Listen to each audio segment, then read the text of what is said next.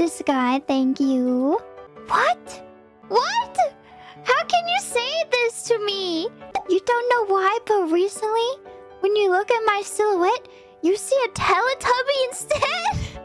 what? What? How can you say this to me? I'm never going to recover from this. Is it because of my horns? If I just had one horn in the middle of my head sticking straight up, I could see it. Oh my gosh. A Teletubby? Can I become a silhouette?